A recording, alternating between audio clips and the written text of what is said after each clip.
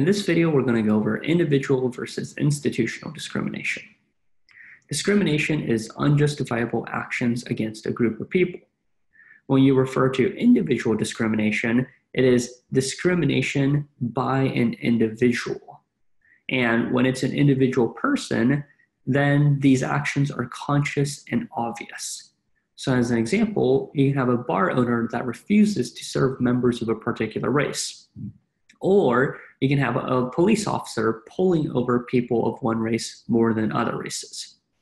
With individual discrimination, you can resolve the issue by removing the individual. So you could remove the bar owner or the police officer, and that would end the discrimination. Next, we have institutional discrimination. This is unjustifiable actions against an individual or group by society and its institutions. So, as an example, we can consider the Supreme Court decision upholding racial segregation in 1896. In this case, since it's a Supreme Court decision, it is not done by an individual, and it also affects the entire country.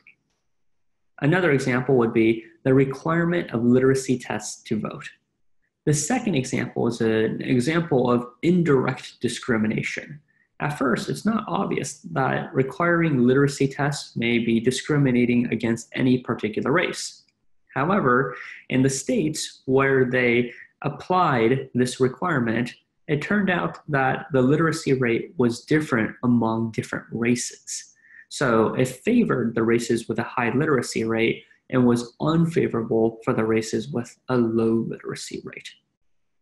As an example against age, we can consider a mandatory retirement age for workers.